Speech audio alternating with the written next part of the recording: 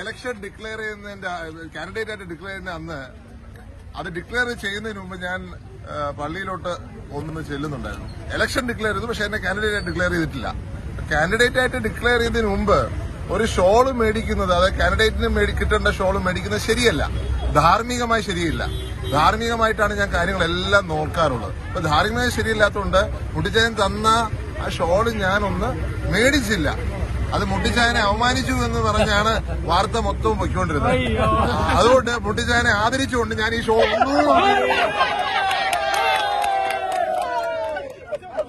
എനിക്കല്ല.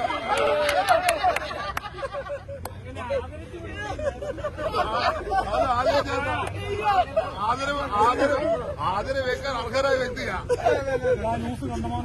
അതൊന്നും അതൊന്നും ആരും നോക്കണ്ട കാര്യത്തിൽ.